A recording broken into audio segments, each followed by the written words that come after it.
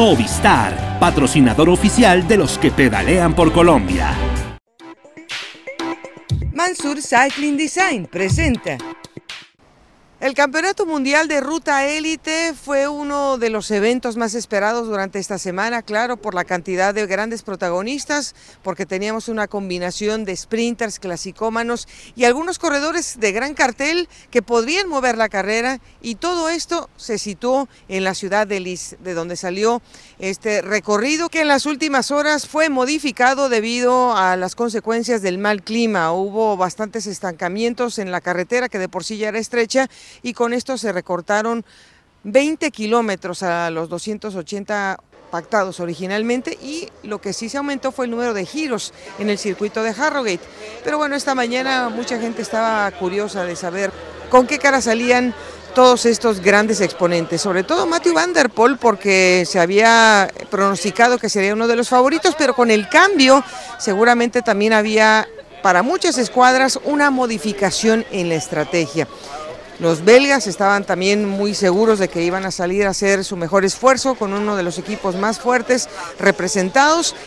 Italia también hacía lo mismo y qué decir, Francia, que también estaba aquí con Julian Alaphilippe buscando una buena proyección para esta nación. Peter Sagan, por supuesto, siempre se lleva los aplausos y la atención del, público, aunque realmente venía aquí con solamente tres coequiperos. Ya en el camino nos dio mucho gusto ver a un Nairo Quintana y también a Richard Carapaz en la escapada, haciendo acto de presencia junto con Primo Roglic para intentar mover la carrera y dejar que sus equipos atrás no tuvieran que hacer el desgaste. Y quizás ahí fue donde se cometió el mayor de los pecados para una nación como Bélgica, ya que se vieron involucrados en la persecución, Francia también gastó, Holanda también gastó un poco, pero no, no tanto, Italia no hizo absolutamente nada, muy poco colaboró y con esto se guardaron lo mejor para el final.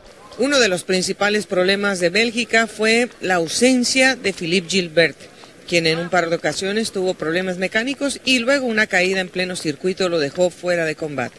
Hay que destacar que Álvaro Hodge intentó llegar con piernas al circuito y lo hizo, pero desafortunadamente entre la lluvia y el frío también sufrió un poco las consecuencias del corredor colombiano. Pero ahí estaban André Amador, estaba Carlos Betancourt, Esteban Chávez, Daniel Martínez, que estuvieron ahí moviendo sus opciones. Daniel se movió, también lo hizo Carlos Betancourt a dos eh, giros de terminar y finalmente es el corredor colombiano quien eh, termina con la mejor posición para los latinoamericanos. El que se dejó comer todito, pero todito el pastel fue Mateo Trentín. Se quedó con Mats Pedersen, el danés del equipo Trek, y Stefan Kong, el eh, corredor de la selección suiza, y resulta que se dejó tomar la ventaja en los últimos 150 metros. Mats Pedersen de esta manera estrena para la nación de Dinamarca un título mundial en ruta, algo que creo que también es bastante benéfico para el ciclismo internacional. Trentín se tiene que conformar con la plata luego de que su escuadra hizo lo mejor, el mejor papel posible, mandando a Gianni Moscón a trabajar y poniendo a Mateo Trentín con ventaja, con más de un minuto en el último de los giros. Pero bueno, esto ya pasa a segundo término.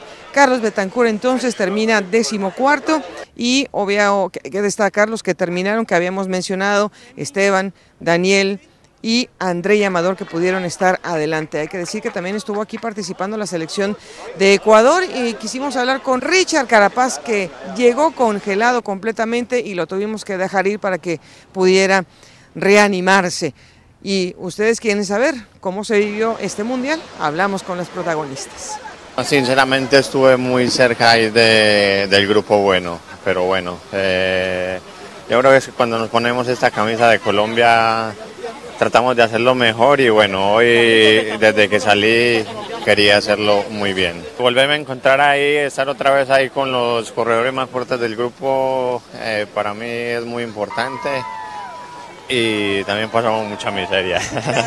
Estoy bien, me he preparado bien este año, al final de año se están dando los resultados y bueno, pero yo creo que pocos días se han vivido así en el ciclismo. De verdad que ha sido súper duro. O sea, eh, me, voy, me voy a bañar.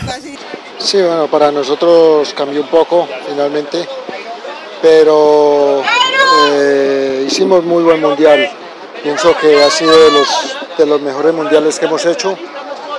Hemos eh, estado con gente todo el tiempo adelante, conmigo desde salida, pues que más o menos era el objetivo mío para pues, lo que podía aportar al país y a la selección, eh, sabiendo pues que al final llegarían pues, gente muy potente como la que ha llegado.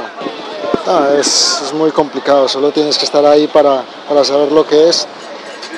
Y bueno, eh, hemos hecho buen mundial eh, todos los muchachos, sobre todo lo que más se destaca es el compromiso con el país y la entrega es bonito porque desde salida estábamos todos muy atentos para, ver eh, si podíamos encontrar la fuga. Y lo hemos hecho y ha salido, pues, no hemos ganado medalla, era bastante difícil por, las condiciones, pero pues hemos estado luchando.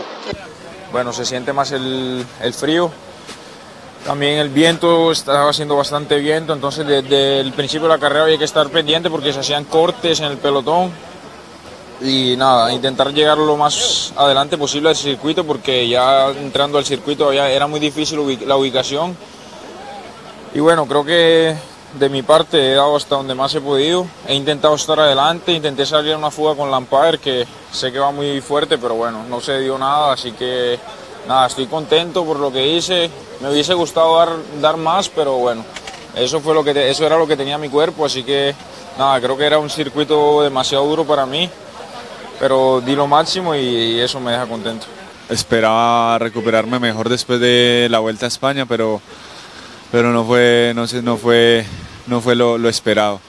Y en cambio, en cuanto al, al cambio del recorrido, pues sí, nos ahorramos dos, dos subidas que eran, que eran complicadas y que allí podía haber, allí podía haber más, eh, más desorden en el grupo, más se hacía la carrera más fuerte. Entonces, bueno, yo creo que por eso no se fue la fuga tanto tiempo. Uno de los días más duros del año y es precisamente el Campeonato del Mundo. Por algo, todo el mundo se prepara para llegar aquí con una expectativa muy alta por la selección nacional a la que representa, pero no todos pueden salir victoriosos. De los 197 que estuvieron inscritos, solamente 46 pudieron terminar y hay que decir que el último que entró en ese grupo fue Peter Bakoch de la selección de la República Checa. Para el próximo año vamos a tener más desnivel acumulado, es un evento que seguramente atraerá a esos escaladores y bueno, pues los nuestros ahí estarán pintados, porque la verdad es que lo hicieron muy bien en este terreno que era más bien para clasicómanos y aún así los tuvimos siempre presentes. Nos despedimos desde Harrogate, pero no será la última vez que nos comuniquemos desde este lado del mundo, porque pronto estaremos cubriendo las clásicas y vamos a tener una gran presencia de los corredores de Latinoamérica para cerrar la temporada. A nombre de todos mis compañeros que ayudaron a promover estos videos aquí, nos despedimos de Gerardo Torres, de Miguel Ángel Obregoso y su servidor Agoga. Recuerde que esta es su casa de ciclismo. Movistar, patrocinador oficial de los que pedalean por Colombia.